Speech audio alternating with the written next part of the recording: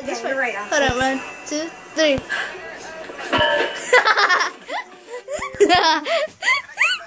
That's what you get if you retard.